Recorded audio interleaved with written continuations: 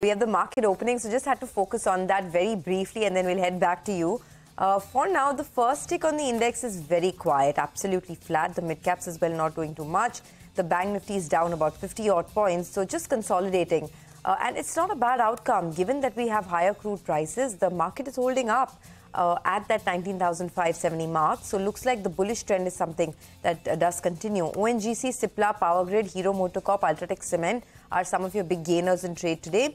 Um, I mean, by big, I mean around half a percent to 1% rally at the max is what you're seeing. ITC, Wipro. Wipro, by the way, fresh 52 week high over there, so keep an eye out on that. HCL Tech is also at a fresh 52 week high. What's dragging the markets today is Asian Paints, Hindalco, Nestle, Bajaj Finance, and some of the banks. IndusInd, ICICI Bank under a bit of pressure, down about half a percent to about 1% on some of these names. So suffice to say that, uh, by the way, the market breadth is quite strong at 1900 stocks on the advancing side and lots of stocks in the broader markets, whether it's something like a Dish TV, Sri Renuka, uh, you know, NBCC has seen that order win, so looking pretty good over there.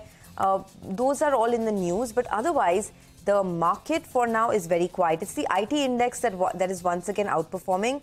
The Nifty IT index is at a fresh 52 week high. The pharma index is also doing well, up almost 3 tenths of a percent. And there are plenty of stocks that are hitting a fresh highs. Nazara Tech, once again, is up about 2 odd percent, so keep an eye out on that.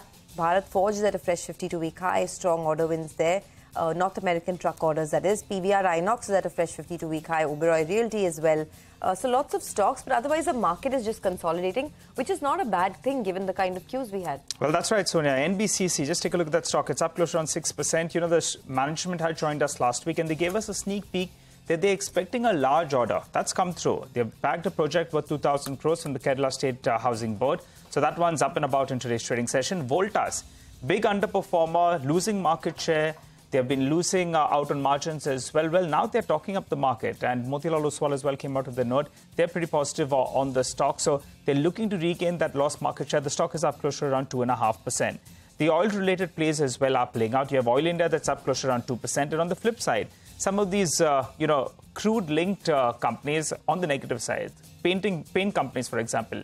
Asian Paints, Sonia mentioned, Berger Paints is down close to 100%.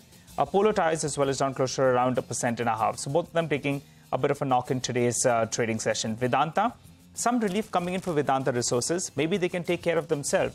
Vedanta Limited shareholders will be happy if that's the case because otherwise, all the cash in the books has been basically moving back to Vedanta Resources to take care of the debt uh, obligations. A couple of other notable movers from the broader markets are on high volumes. You have Sri Renuka that's up close to 4%, JM Financial as well as higher, and IDBI Bank as well is moving up. On the flip side, finally, IRFC is seeing some profit taking. It's down close to around 4% as we speak, as is the case with RVNL. Prashant. Uh, okay, well, uh, yeah, I mean, there's a fair bit happening, and uh, you know, true to form, the market's kind of holding on without too much trouble, right? I mean, uh, green on the screen, 19,500, 19, almost 19,600 now uh, is uh, what we have. So, just the beginning. we'll see how things go. Uh, and I, I, must say it's a quieter start as compared to the last couple of days. Uh, you know, the broader market would start uh, jumping up, uh, uh, mostly up, not down. Uh, but this morning, it's a, it's, it's a slightly mm. sort of more subdued kind of start. Volume-led gainers are, yeah, I mean, there are a few, and I'll highlight them. but it's not as if you've got lots and lots of names which are going up and down. NBCC, Vedanta, I think you've got uh, MMTC. MMTC's uh, had a fantastic three, four days. Voltas is up about 2.5%. Uh, I think there was a broker, brokerage call. GMR Power has been doing well last four, five days. IDBI has been doing very well. That's coming up with gains. Uh, and uh, yeah, I mean, some sugar names coming up as well. I mean, actually, day before yesterday, sugar stocks all rallied significantly. Uh, and uh, I can spot Renuka at least. Jio Financial Services is down, I think, about two and uh, three quarters of a percent or so. Uh, at uh, this point in time. Sonia. Yeah, just yeah. a couple of more stocks actually. Yeah. You were mentioning Voltas. By the way, Torrent Pharma also continues to inch higher on the back of that, uh, you know, impending acquisition of Cipla. Uh, so Torrent Pharma in the green. Uh, you have a couple of more names that I'm looking at this morning. Um, there's of course uh, L&T Tech from the mid-cap IT space. By the way, IT is really surging now. Uh, so big moves there. TCS is up uh, in the green. HCL Tech is at a fresh 52 week high. LTI Mindtree. So, you know, this space has really come back in a big way. Wipro as well. uh, that's the space to be in. You know, the market texture is telling you that it's a buy on dips market and this market wants to go up.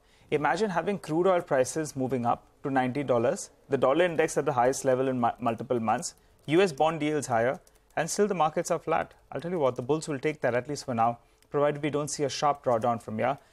Holding steady as we speak, Prashant. There are no bears, Nigel. It's all bulls. I think we, we, don't, we don't need to differentiate. You just say, because, I mean, this is incredible, right? The strength has been, uh, mm. uh, it's just uh, quite something. So 1400 higher and 450 stocks lower. And, uh, you know, uh, I've been jokingly saying uh, half a percent and small cap compounding. I think that's become 1% da- daily compounding. We're not saying annual compounding or monthly or quarterly, daily. So that's essentially how strong the broader market has been. so not very far from the truth, actually. We're up about 0.4% once again on the small cap index. I mean, actually, this week from Friday start, we are up 2.5% of the small cap after last week's 4.5% gain. So, you know, in basically what, uh, three sessions, uh, sorry, se- uh, uh eight sessions, seven and a half sessions, the small cap index, right, uh, has uh, returned what, almost 7% or so. So that is basically uh, the market that uh, one is uh, looking at.